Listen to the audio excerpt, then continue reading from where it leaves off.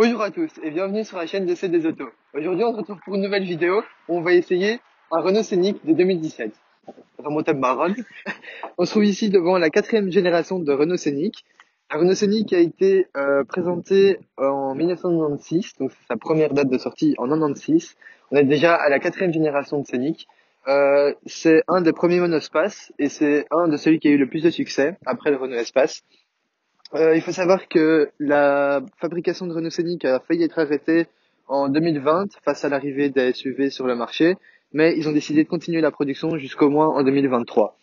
Donc on se trouve ici, comme je l'ai dit, sur la quatrième génération de Renault Scénic avec la finition business. Euh, Qu'est-ce qui inclut la finition business? On a le Airlink euh, 2 à l'intérieur, donc c'est le système de GPS qu'on vous montrera après. On a les éclairages d'ambiance ici sous euh, la voiture qui s'allume ici. Bon, on voit pas, on est en plein jour, mais voilà. On a des jantes, très belles jantes d'ailleurs, je trouve, qui sont de série en 21 pouces, ce qui est plutôt énorme pour une familiale. On a euh, en option sur la voiture un toit ouvrant, qu'on vous, euh, un toit panoramique, pardon, qu'on vous montrera euh, par la suite. En option également sur cette voiture la bicool, bicool, bicool. En option sur cette voiture donc la bicool, bicool. Putain gros. Euh, en option sur cette voiture la bicoloralité. En option sur cette voiture les deux couleurs donc noir et blanc.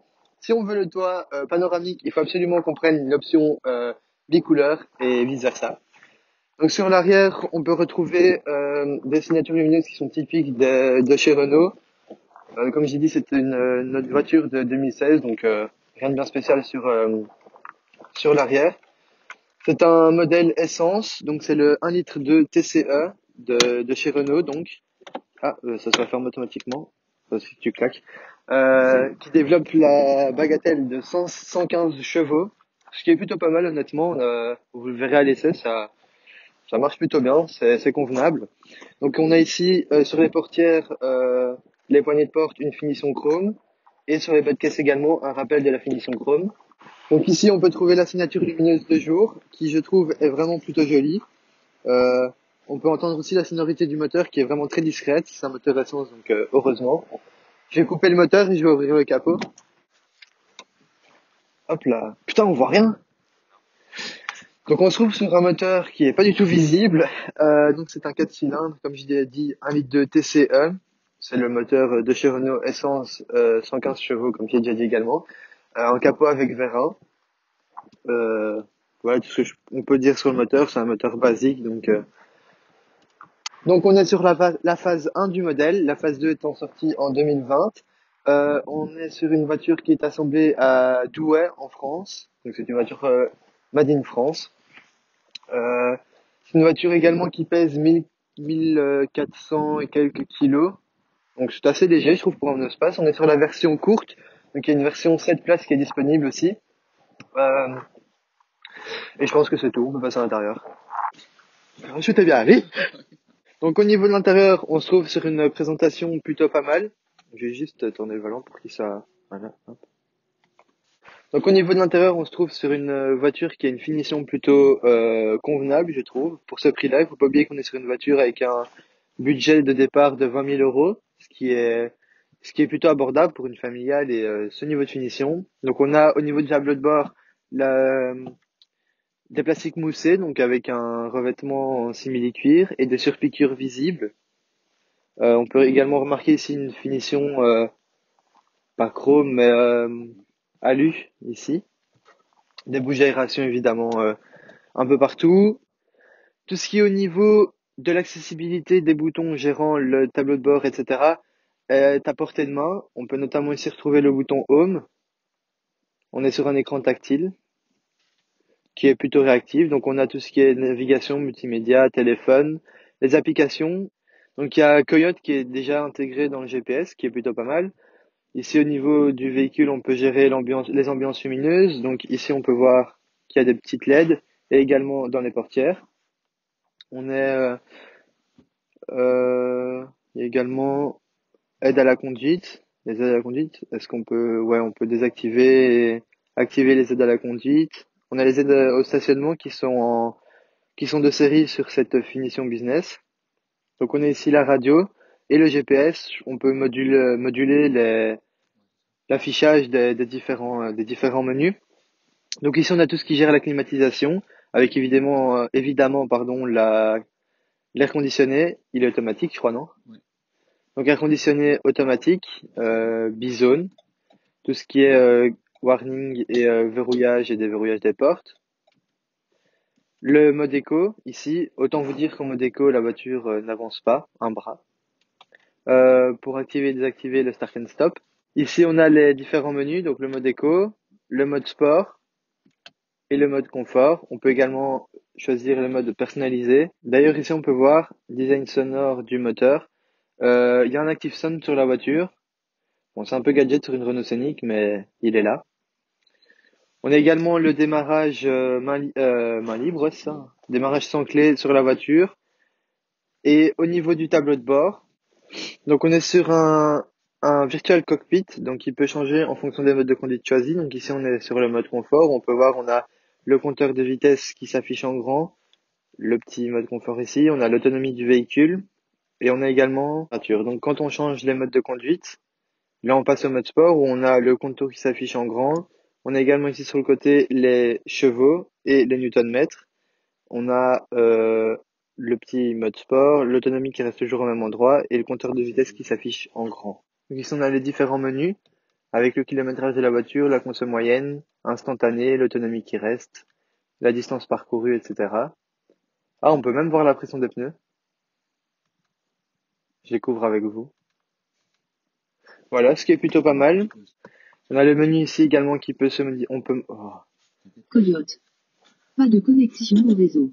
Bah voilà, on a que est intégré à la voiture. On peut avoir aussi la navigation qui s'affiche, la radio, et voilà.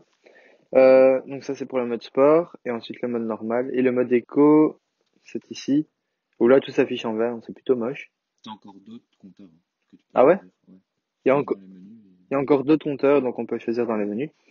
Donc on passe, T'as aussi cross control, régulateur du rythme. ouais ça c'est là. Non. Non C'est où ça là. Ah ouais, Et alors, c'est le plus et le moins. ah ok, ça va.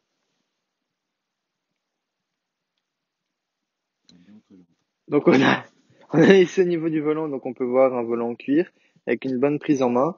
Euh, tout ce qui peut être géré ici pour le menu, euh, la voix, donc euh, choisir les options du GPS avec la voix, décrocher raccrocher le téléphone, euh, confirmer les menus. Quand il y a un cruise control euh, disponible sur la voiture ici,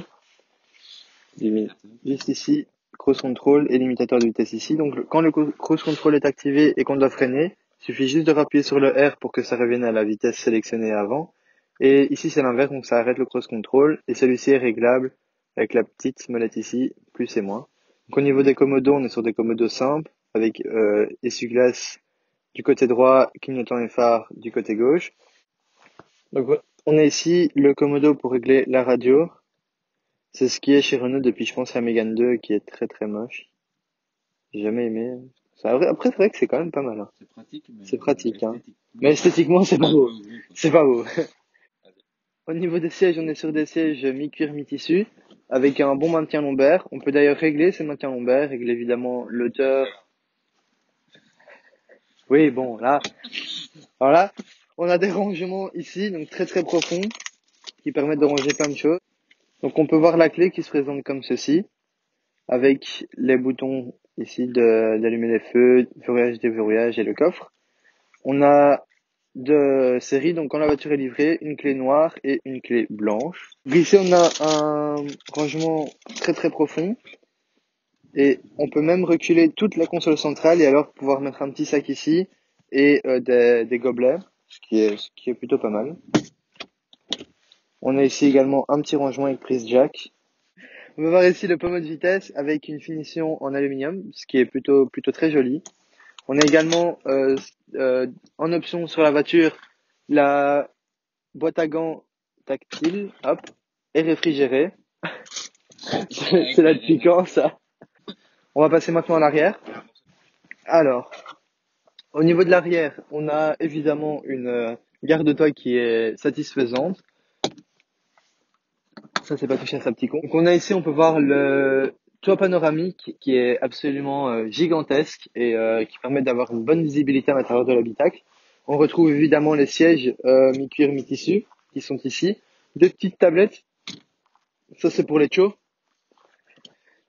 Il y a des petites tablettes ici, plus pour les enfants, pour poser euh, enfin, une tablette justement pour regarder pendant les longs trajets ou, ou quoi. Le siège est à circuler et on a encore une bonne, euh, une bonne place aux jambes. On a évidemment des vitres électriques et alors des petits stores qu'on peut mettre manuellement pour le, pour le soleil.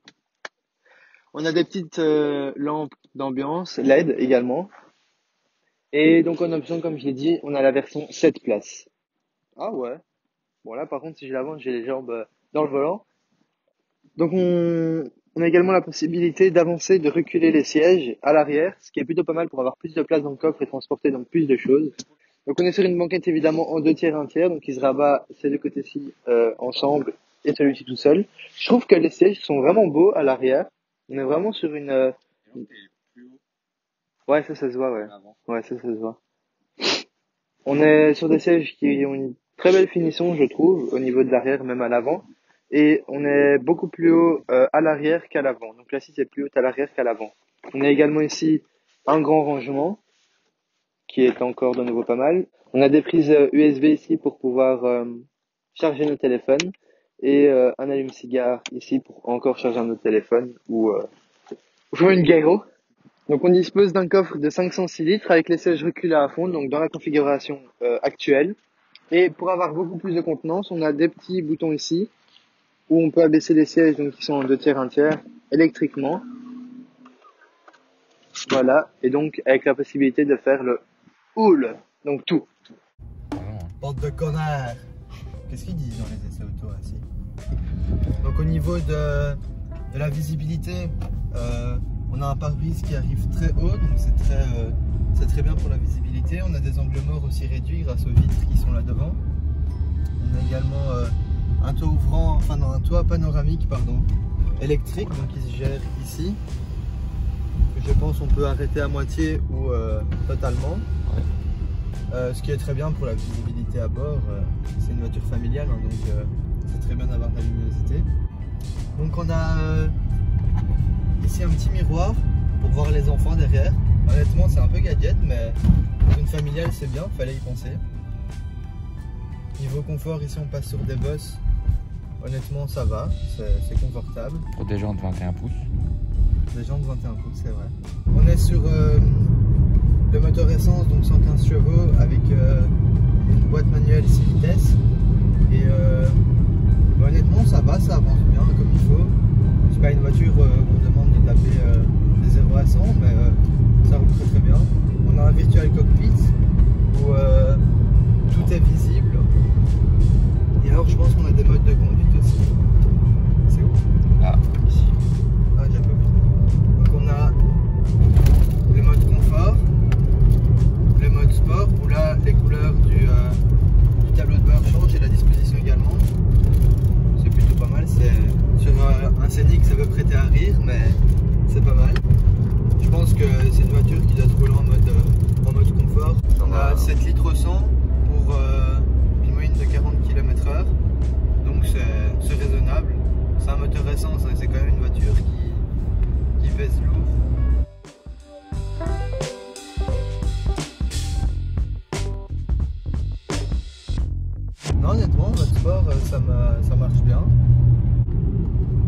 On peut sentir aussi que la direction est un petit peu plus dure.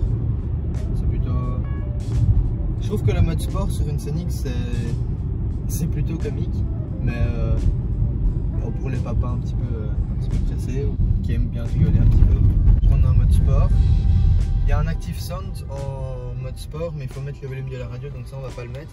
Mais euh, c'est plutôt marrant aussi ça.